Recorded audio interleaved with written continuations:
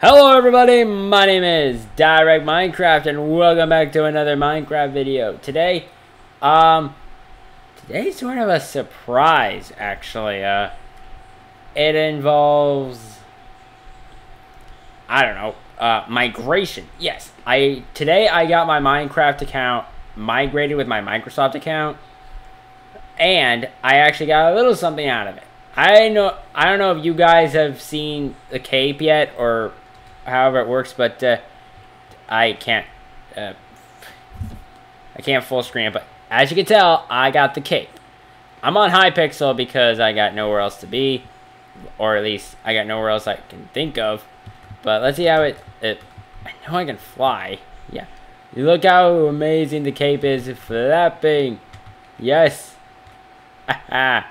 Hey, I wonder how it looks on the way down. Uh, and it, oh man, I would I would have expected to go over my head. uh, let's see.